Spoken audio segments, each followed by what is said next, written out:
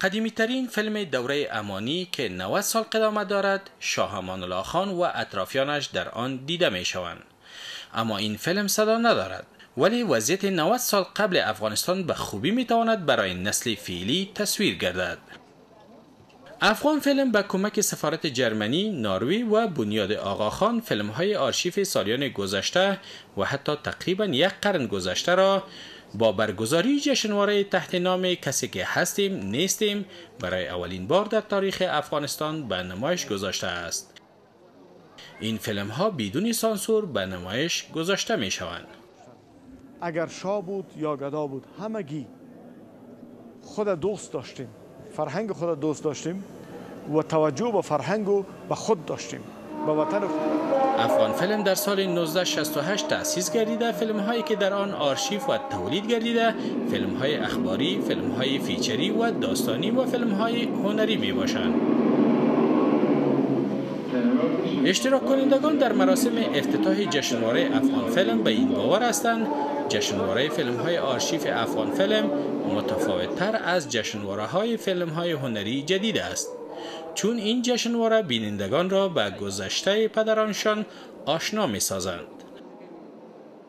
بسیار زیاد نیاز داره که فیلم های خوب یا فستیوال های که گرفته میشه و فیلم هایی که از سابقه از رو به نمایش بگذارند تا مردم به یاد بیارن او رسم و رواجا و فرنگای نیک و خوبی که ما داشتیم او گذشت حوصله مندی ها در مقابله که دیگه او رسم و رواج و فرهنگ عالی که داشتیم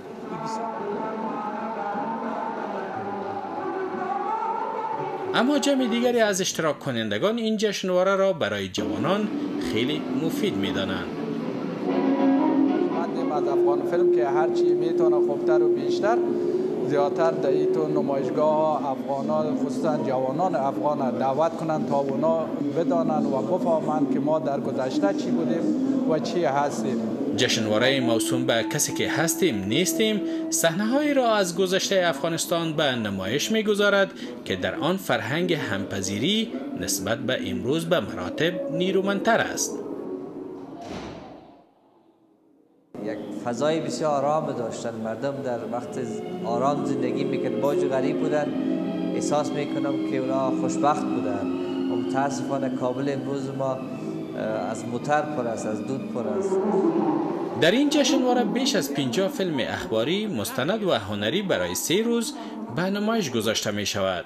به گفته مسئولین افغان فیلم نمایش فیلم های آرشیف آن اداره را در آینده به ولایات افغانستان نیز توسعه می دهند.